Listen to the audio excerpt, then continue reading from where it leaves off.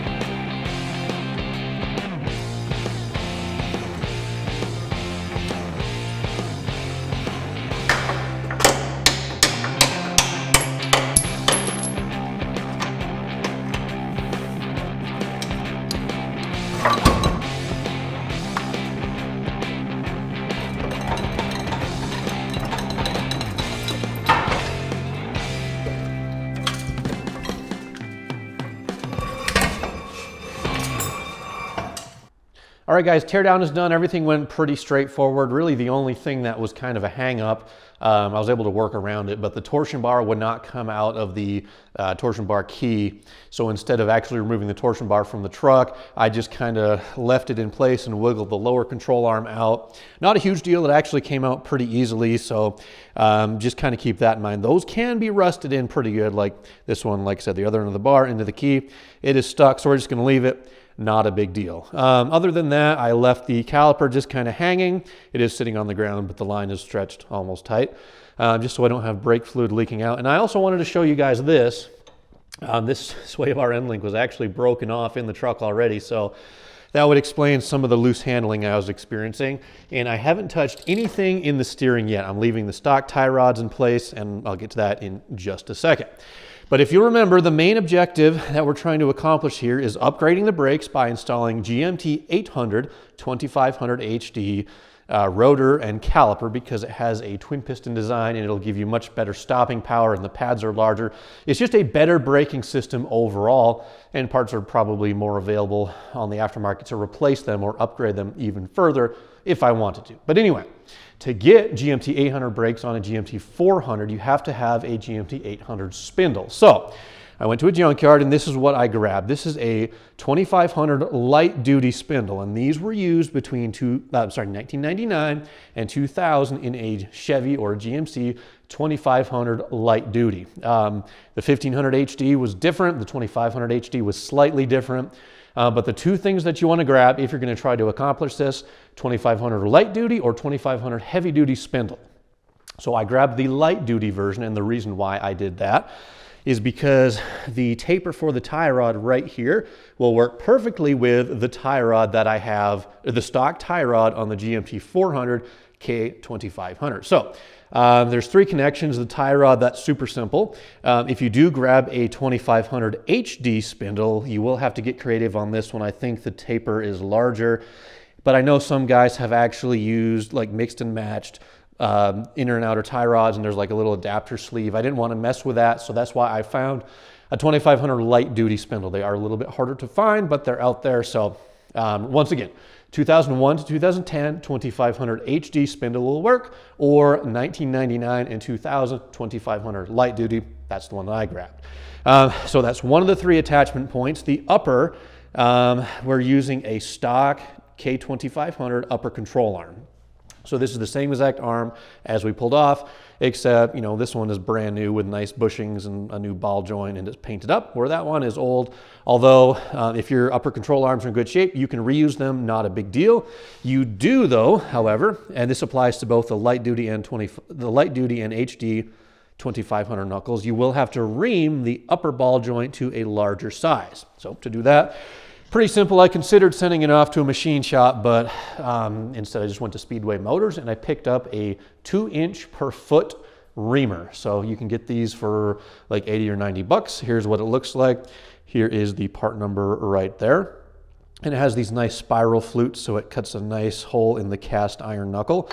Um, once again, that's the part number. Speedway Motors, about 100 bucks. So I just chucked it up in the drill, put the spindle in the vise, and I oversized this guy here and I just did a little bit at a time and I kind of checked the fitment on the ball joint until I made sure that the threads would engage all the way. Now let's talk about the lower ball joint, getting it into a 2500 spindle. Once again, this is the same thing for a HD or a light duty. Um, if you want to use your stock GMT 400 lower control arms, you can do it, but you have to ream the lower ball joint in the same way that you did the upper. However, the problem with doing that is because well, if you kind of draw a straight line from this ball, or the ream, the tapered hole, excuse me, it goes right through here. And there's really no good way to get a drill in there to run that reamer and to oversize this lower um, thing right here. I've seen some guys do it. But the other problem that you have trying to fit a stock K2500 lower control arm slash ball joint into a GMT 800 spindle is that the spacing will be up just a little bit too high, and I think you, um, for some reason, something interfered with the CV axle that was coming through. So instead of doing that, instead of trying to ream the bottom, which is inaccessible, I just grabbed a GMT 800 2500 lower control arm. And if I remember correctly from my research, this lower control arm here is actually the same between a light duty and a heavy duty 2500 of a GMT 400 platform. And the nice thing is this will actually bolt directly into the Suburban. The spacing for the lower uh, uh, control arm mounts is exactly the same. Uh, the same width, same spacing, everything will bolt right in. And it's almost kind of like the same exact arm, you know, same spot for the sway bar, same spot for the shock, except it accepts a correct ball joint that'll interface directly into this GMT 800 spindle. So that's kind of the gist of it. Um, GMT 800 lower control arm, GMT 400 stock upper control arm, reamed upper ball joint on a stock 2500 light duty spindle. Then now I can easily just bolt up GMT 800 hubs, brakes, and everything, which we'll get to that in just a second. But first, um, I do want to clean up these spindles. I'll just kind of hit them with a wire wheel real quick. Quick splash of spray paint, and then we can finally get to put this thing back together with updated modern brakes.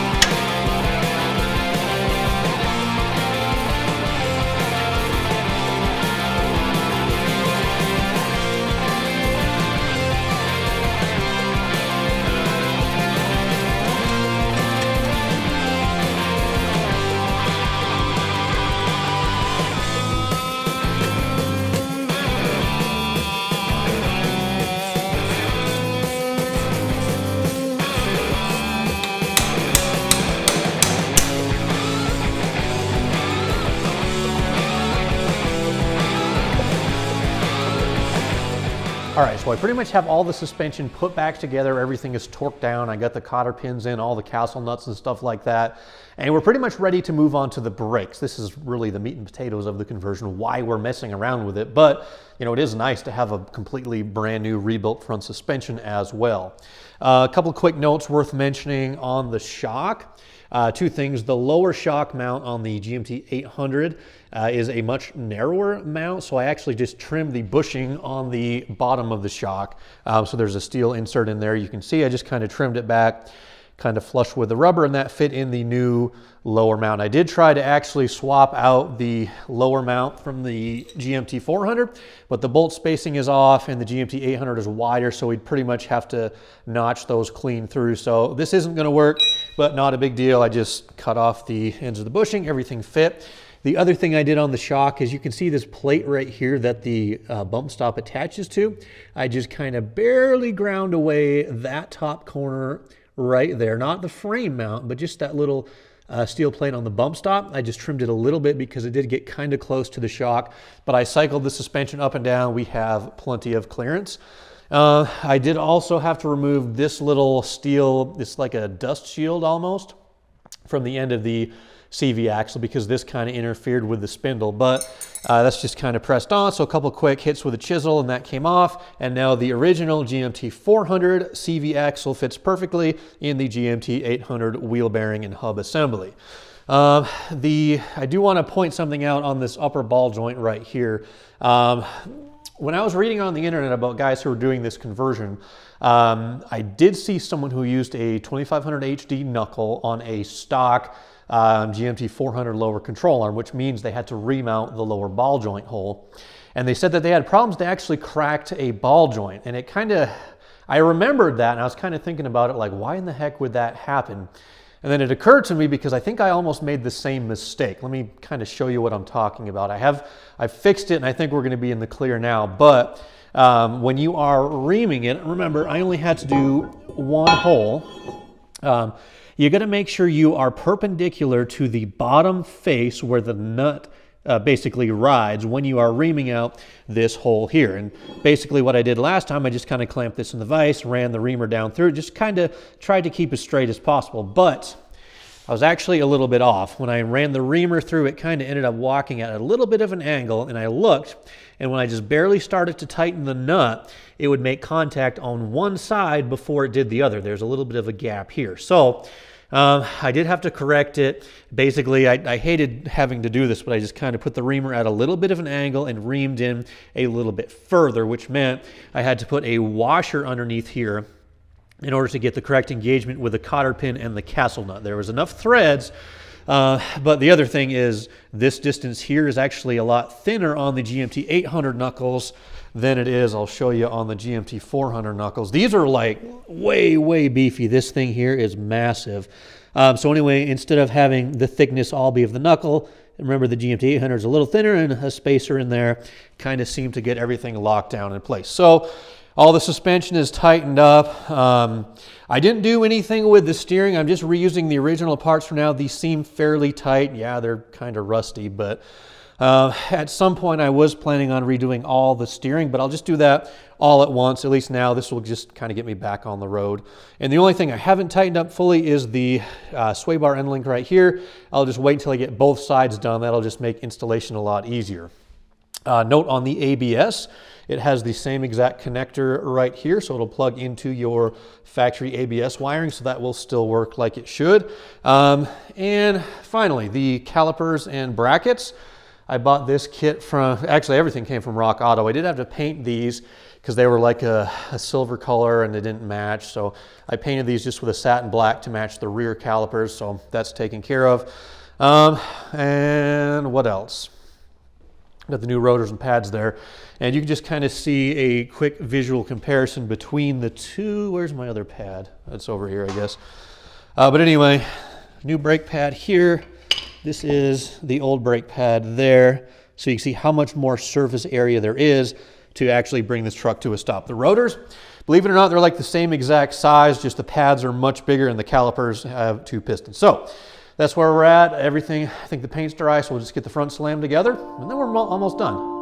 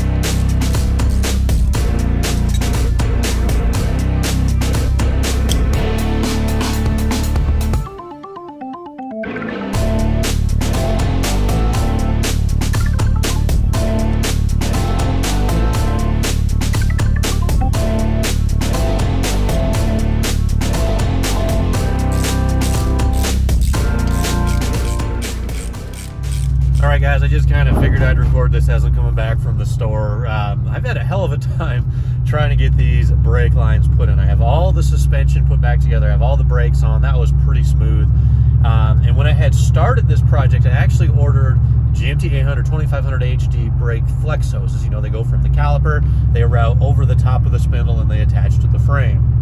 Uh, the problem, uh, 2500 HD ones were way too long, and they just kind of made a weird kink in the line. And then, so I started to see if I could actually adapt the uh, GMT 400 stock lines. Those were just a little bit too short.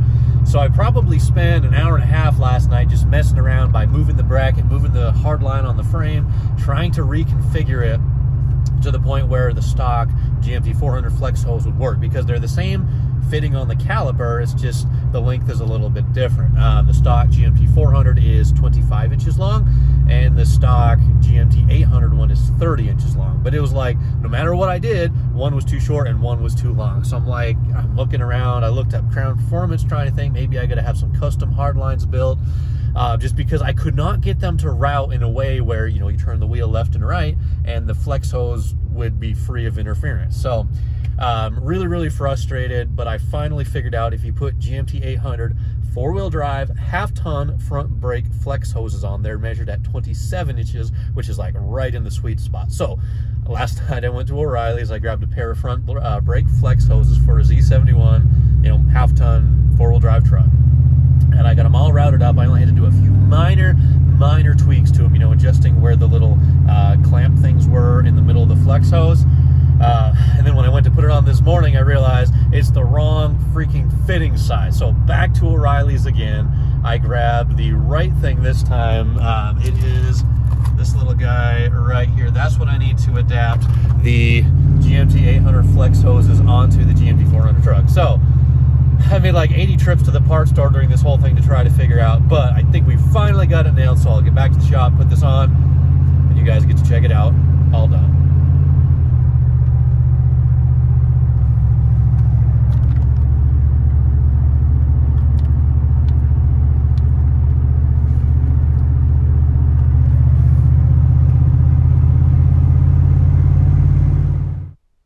All right, we just got back from O'Reilly's and got the little adapter in there, which means this conversion is officially done and we have functioning GMT 800 2500 HD brakes on our GMT 400 2500 Suburban.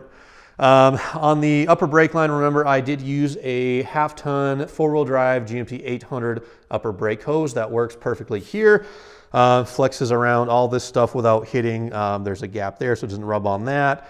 Uh, it bolts right here to the upper part of the spindle because that's how the GMT 800 trucks are. Uh, the only modifications I had to do, there's two of them. One is this adapter here that is a 3 16 to quarter uh, brake line adapter, the little brake tab here, that's in the stock location, and the hose is routed in a stock configuration. Uh, the only other thing I had to do, you might notice there's a hose clamp on here. Uh, that's because this bracket normally just bolts to the upper control arm on a GMT 800, but I didn't want to drill a hole or weld anything onto the stock GMT 400 upper control arm. So instead what I did, um, let's see where are we at? Oh, right here if you, I drilled a couple of holes and I had a little tiny file, so I basically made a slot in here and I just took this hose clamp and I went around there to secure it to the control arm in the same kind of way that the GMT 800 stuff does. So I have the same amount of like flex right through here, so when you turn the wheel back and forth, everything will turn like it's supposed to. I cycled the suspension up. I made sure that it didn't interfere with the sway bar end link or uh, like so the longer brake hose, the 2500 HD one, uh, whenever you turn to the left, the brake hose kind of bunched out here and it would actually rub on the wheel, which is definitely a no-no.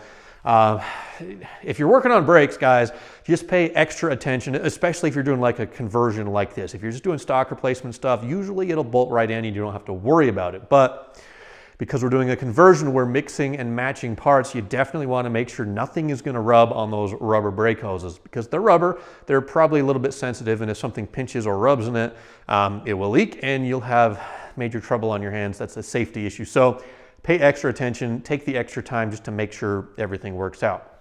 But anyway, um, in summary, here's everything that I had to do to get these GMT 800 2500 HD brakes on this GMT 400 truck. Uh, starting at the top, we have a brand new shock. That's just stock GMT 400 stuff, although I did have to modify the lower bushing to make it a little narrower to fit into the different control arms. Now, you don't have to use 2500 HD control arms like I did, but if you do, it'll make your life a whole lot easier on this lower ball joint hole, and you have a nice factory connection there. Factory ball joint, factory ream, so everything's gonna fit perfectly. On the upper one, uh, regardless of which spindle you get, the light duty or the heavy duty 2500, you will have to ream this out. Uh, just pay attention and make sure you ream it as straight as possible so it is perpendicular to the bottom face of the spindle. Um, because I used light duty three quarter ton knuckles, my stock GMT 400 tie rod will fit right in, no problem. That's kind of really one thing that made this job easier. As far as brakes go, you obviously need GMT 800 2500 HD brakes. I think they're the same as the light duty, but we have a rotor. Caliper bracket, caliper itself pads the little metal slider thingies in there, uh, the bolts to attach the caliper bracket. I also did grab the little dust cover that's gonna go in here, but I'm gonna wait to put that on because I wanna put the tire on, put the truck on the ground. I'll torque this axle nut by hand, not with the impact, then I'll put the dust cover on. Um, what else? Uh, sway bar end links, those were broken, so I got new, just stock GMT 400 sway bar end links, and I think that's pretty much a wrap for this conversion. Uh, we do need to bleed the brakes, and I do need to swap out the master cylinder. A lot of guys, if you have a vacuum booster GMT 400, you can put a GMT 800 master cylinder on that with just using one line adapter. But if you have a GMT 400 Hydro Boost, you cannot do that. They won't fit. But I picked up a GMT 400 C3500 HD master cylinder that came from a four-wheel disc brake trucks and the 3500 HDs those are the straight axle 10 lug you know medium duty it's like a ton and a quarter truck um, so that's the master cylinder I grabbed that'll work with this four-wheel disc brake setup. So that's a wrap for this video. I do want to say thank you guys for watching. Uh, let me know how you feel about suburban content, about this GMT 400 platform. We've done quite a bit to this truck already, but I'm kind of at a crossroads on it. I'm trying to decide what to do. So if you guys do like this uh, truck or this year of trucks, let me know. I have a few things I might decide to do. I don't know yet. I'm, I'm up in the air. But either way, please help me out. Subscribe to the channel if you haven't. Click the like button, drop a comment down below. All those things, they genuinely do help the video's performance. Uh, so that's a wrap. Thanks for watching. I'll catch you soon.